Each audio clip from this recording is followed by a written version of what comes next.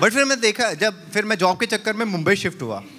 और मैं देखा, लोगों की कैसी भी जॉब लगे, अच्छी, बुरी, सस्ती, चिंदी कैसे भी। दोस्तों के सामने फुल फ्लॉन्ट करना होता है चीजी लैंग्वेज में। Dude I have a client facing job I get to travel a lot hmm like साले, तू पिज्जा डिलीवरी वाला है. बट फिर मैंने पैशन के चक्कर में जॉब छोड़ दिया। And it's very tough guys it's very tough like मेरे कई दोस्त हैं जो जॉब छोड़ के पैशन फॉलो करना चाहते हैं, लेकिन उनकी जॉब ही नहीं लग रही है।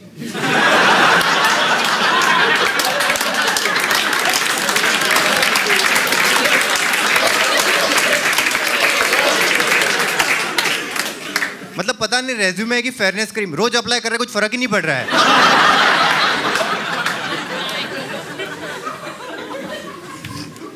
बट फिर मैंने जॉब के चक्कर में नोटिस किया like travel in Mumbai frustrating do agree travel in Mumbai frustrating एक तो ऑटो वाले कितने एरोगेंट होते नहीं? मैं एक ऑटो वाले को बोला भैया अंधेरी? बोलता है सीधा जाके राइट ले लो. हाँ जीपीएस ही नहीं था ना मेरे पास। फैंसी ड्रेस खेल रहा है ना तो यहाँ पे कॉस्ट्यूम पहन के?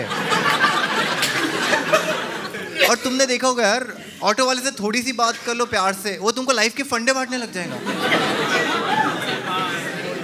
मैं एक ऑटो वाले को बोला, भैया, थोड़ा जल्दी चला, दो शो करने आज। शो दो कर लेना, साहब, दिल एक से ही लगाना।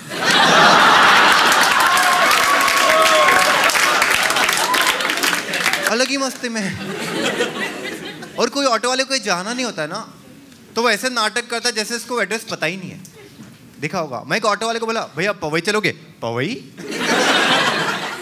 बोला, नाहर के पास, नाहर के पास? बोला, अरे चांदीवली के बगल में चांदीवली के बगल में?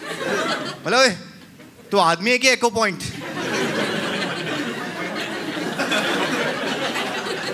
एको पॉइंट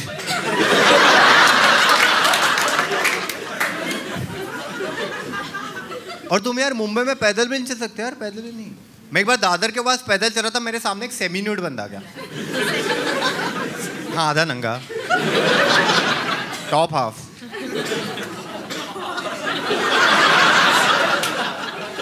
और मेरे सामने आके उसने खुद को कोड़े मारे। पटक पटक पटक।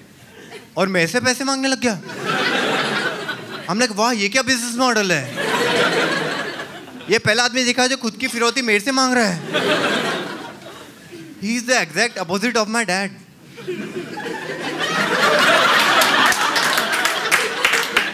मैं डैड से पैसे माँगता वो मेरे को कोड़े मारते हैं। और यार, इस आदमी को इकोनॉमिक्स पढ़ाओ यार। तू मेरे से पैसे ले रहा है तो कुछ वैल्यू ऐड करना मेरे लाइफ में?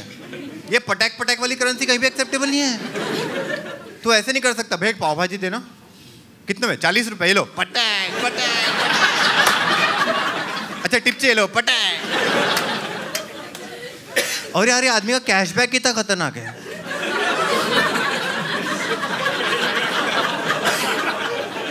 कल को इसको पचास रुपए दिया। सर, मेरे पास चेन नहीं है इधर। हाँ शर्ट उतार लो। और मैंने देखा यार, हमारे जो रीजनल लीडर्स हैं ना लोकल लीडर्स वो बिल्कुल कुछ काम नहीं करते। वो सिर्फ़ एक काम करते हैं होर्डिंग लगा के एक दूसरे को हार्दिक शुभेच्छा दे रहे हैं।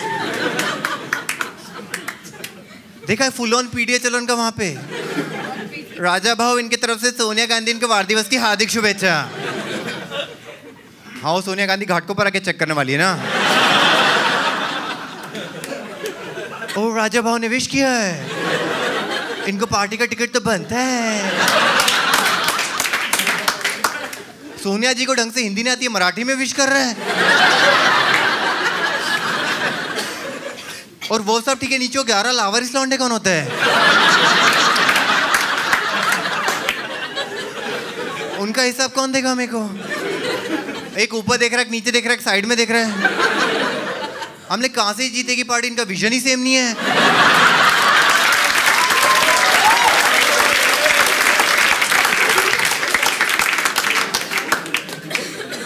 और मैं देखा यार, लोगों को मुंबई में दीवार पे ग्राफिटी लिखने का बहुत शौक है राइट मेरे को कंटेक्स्ट वाली ग्राफिटी समझ में आती है।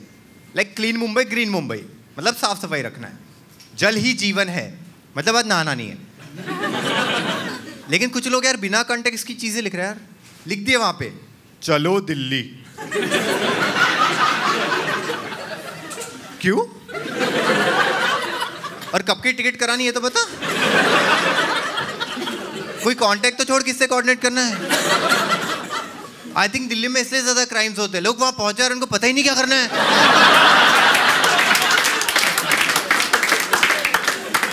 फिर वही लोग वापस मुंबई आके, पटक पटक।